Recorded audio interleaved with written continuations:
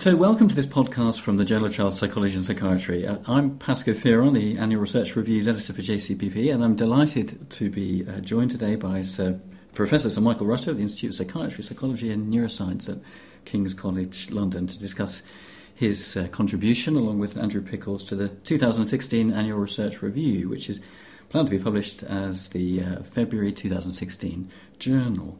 So, Mike, in your article in, entitled The Threats to the Validity of Child Psychiatry and Psychology, could you begin by telling us what you identified as, as some of the key threats to the continuing vigour of the, of the science of child psychology and psychiatry? Well, there are several, some of which we can remedy and some of which we can't. So that what we can't remedy is the fact that as uh, comparison with cardiology, um, oncology particularly, we cannot examine the tissues of the brain during life. And that means that the ways in which the genetic findings on the analysis of tumour tissues has led to huge gains in both prognosis and the development of treatments. Uh, we have no equivalent to that, and we're not likely to be able to have in the future. The second is that this is the era when DSM 5 came out, and um, that was introduced with a lot of banner waving as to the opportunities, and in our view, the result was pretty disappointing, and we are faced with a lack of a good classification system uh, that works. The notion that DSM 3 introduced that um, it can be done in, on the basis of discrete diagnoses with very little overlap between them is just dead in the water. That is not the way it works. And we are faced with the reality of the fact that all the evidence indicates that the overlap between diagnoses is much greater than used to be the case.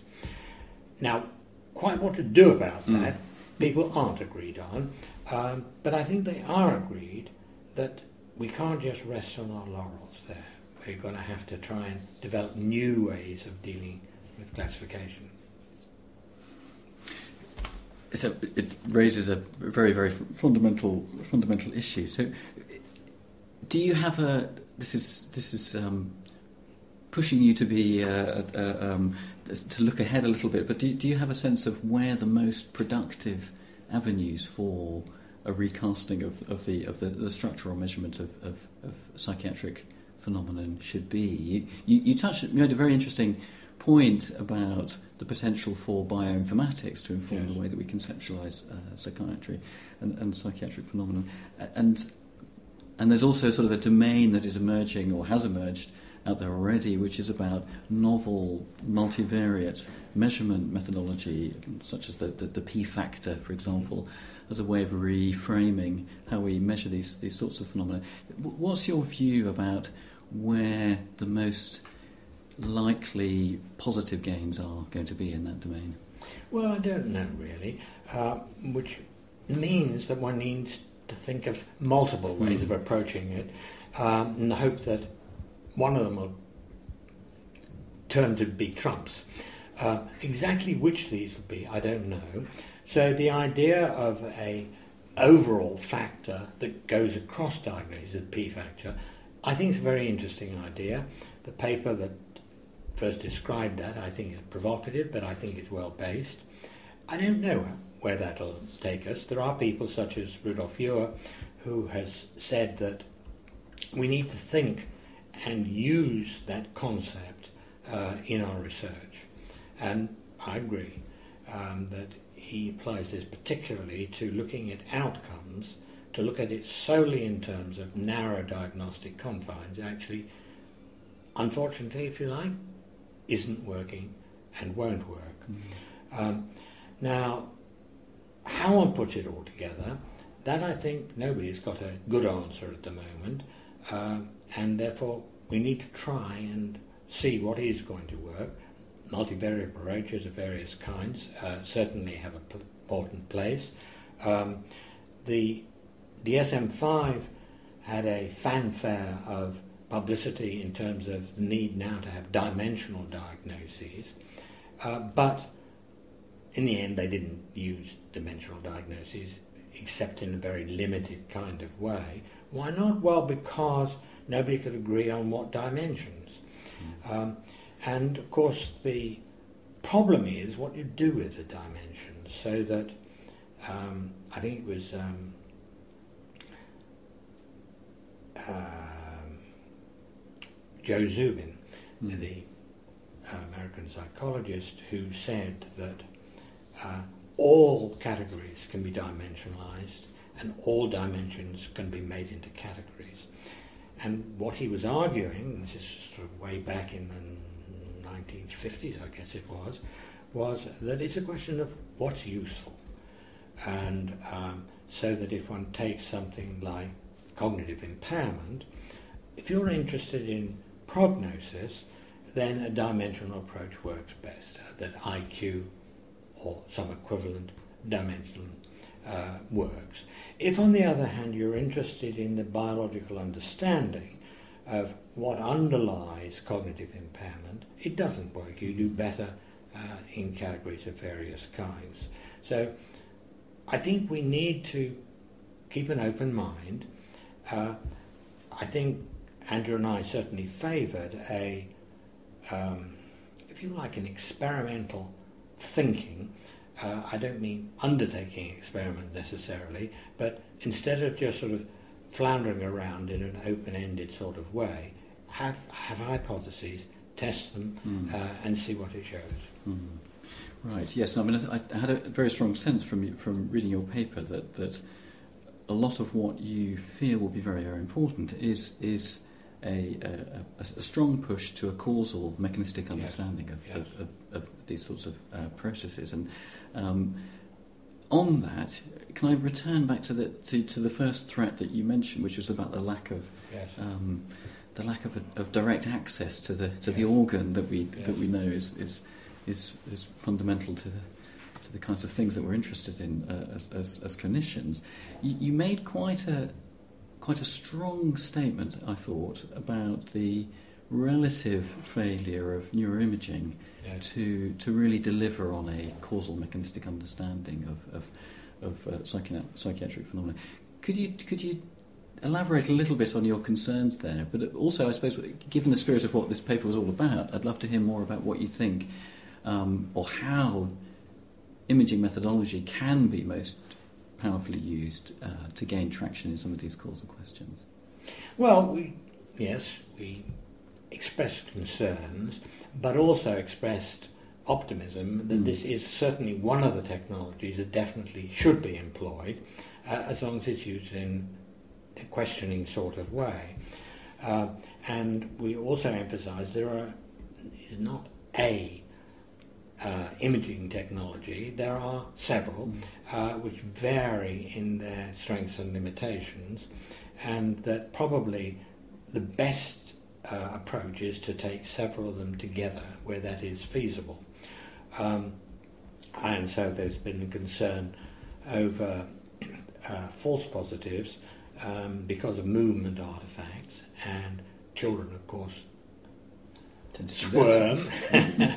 and so that has raised questions. Uh, how far has the findings on um, abnormal interconnectivity among regions in imaging findings, how far is that an artifact? I, I don't know. Um, I think we were unwilling to dismiss it all, mm. uh, but on the other hand, a challenge had been put down and needs to be responded to. So we would want it as one of the uh, approaches to be used. Mm, right.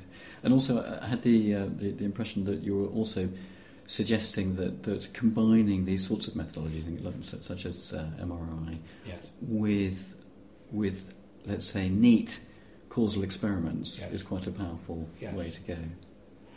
Yes, um, I think that a suck it and see approach we would not favour particularly. there are times when we know so little that there really is no alternative but to do that. But the minute you've got something to base it on, then you want to try and move to a definite hypothesis and use not necessarily a formal experiment, although those certainly have a place, mm. uh, but an experimental way of thinking. And so we talked uh, about the use of natural experiments where nature provides a pulling apart of variables that ordinarily go together, and that certainly has a place. And we also talked about um, animal models, uh, which are used very little in child psychiatry and psychology. And we're not arguing that people become animal experimenters, but they need to be aware of what animal experiments can, animal models can and cannot do. Um, they have all the advantages of being able to um, employ invasive approaches that would not be ethically accepted in humans. Uh, they also, however, can deal with m- model organisms with a much shorter uh, lifespan, mm. and therefore looking at developmental questions becomes much easier uh, than it is in humans. Um, we talk about the need to have animal models that are based either on human findings where there's a question as to what it means, or alternatively, at least hypotheses based on clinical phenomena.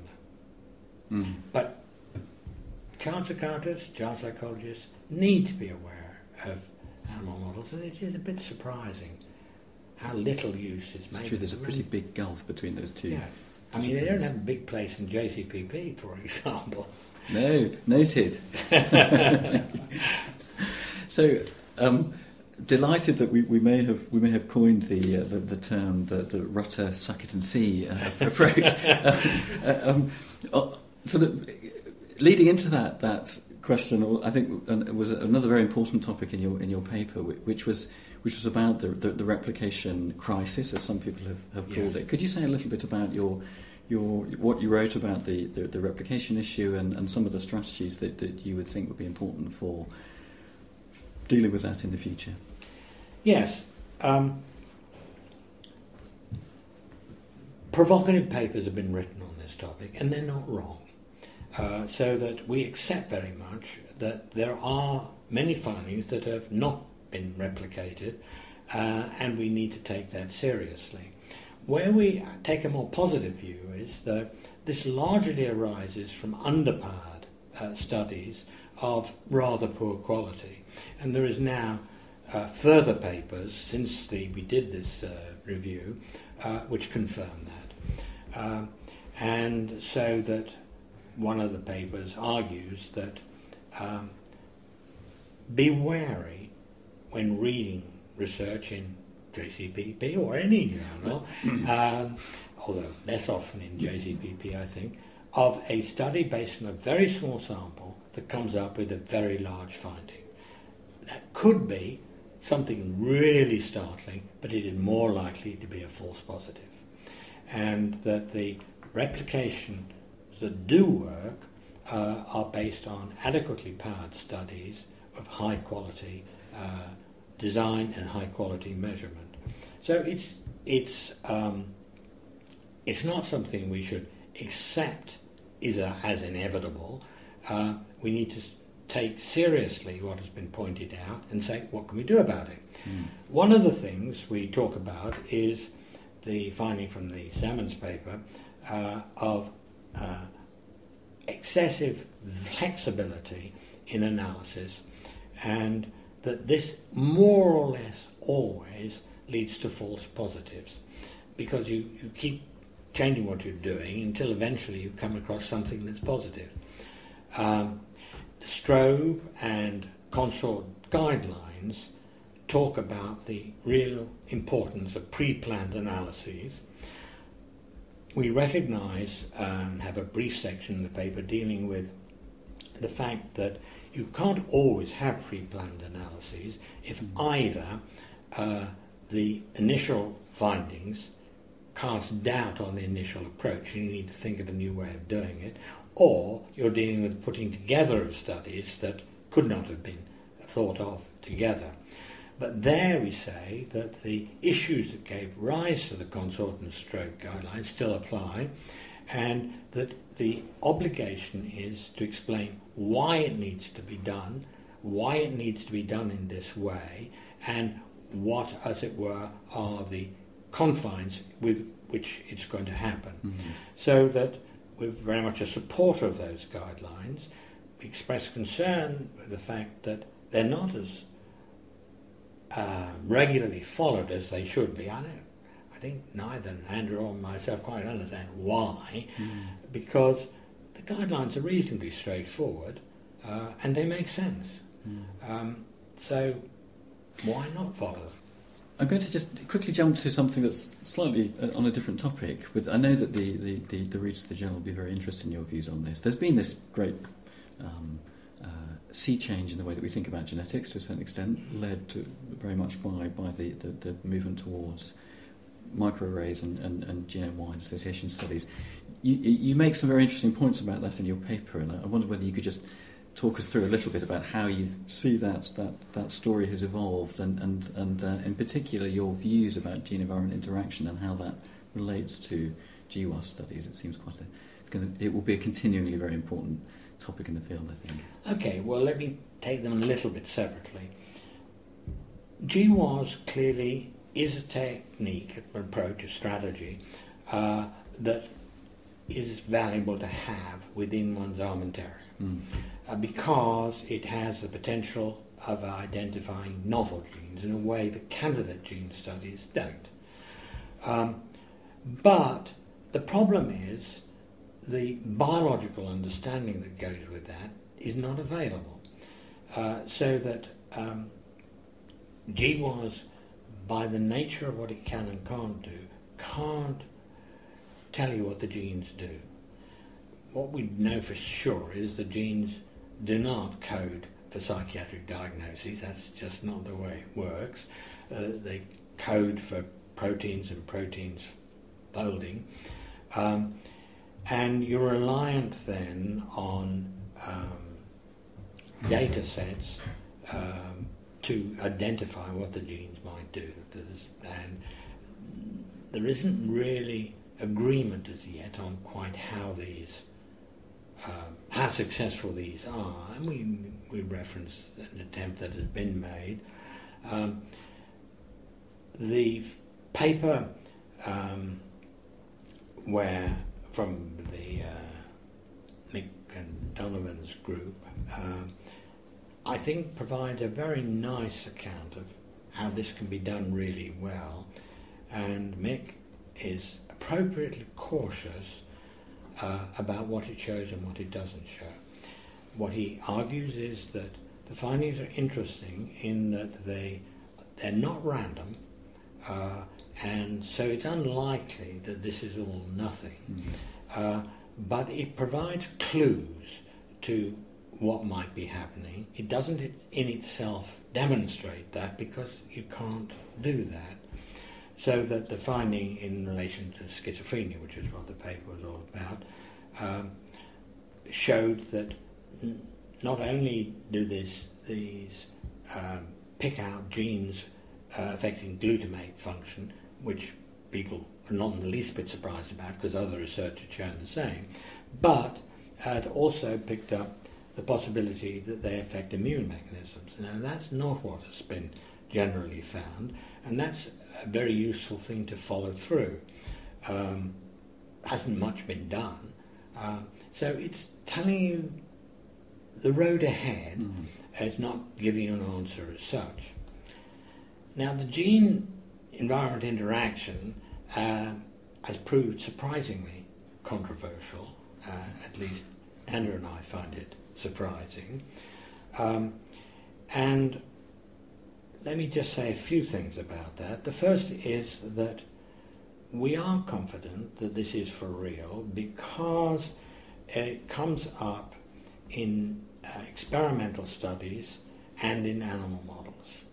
And that gives one some confidence that this overcomes the fact that epidemiological studies can't tell you about causation. I mean, That's just not what they do.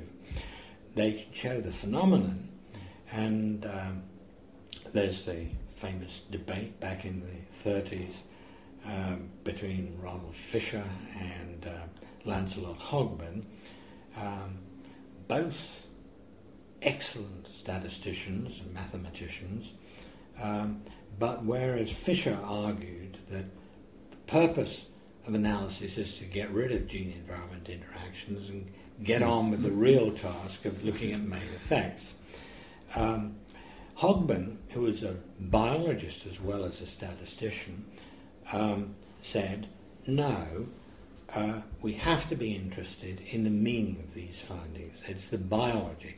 Now, they agree that there are all sorts of artifacts to overcome, so the problems of um, um, scaling, uh, which we know can increase or decrease the finding, uh, has to be overcome. Um, I don't remember whether they discussed the problems of artifacts that can come from gene environment correlations. I think they didn't actually, but we now know those are important. So it's the fact that the experimental evidence, both human and animal, um, means that it's likely to be the case. Quite apart from the fact that if one thinks about it, the idea that um, sensitivity to the environment is the one and only feature which is outside mm. genetic influence. I mean, that's just implausible.